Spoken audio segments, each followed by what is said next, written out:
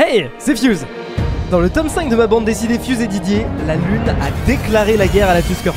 Fuse doit réparer ses erreurs passées, quitte à se livrer lui-même à Reddit qui cherche à se venger. Mais notre patron préféré est-il vraiment prêt à se sacrifier pour sauver la paix? Découvrez-le dans le tome 5 de Fuse et Didier, dispo dans toutes les bonnes librairies.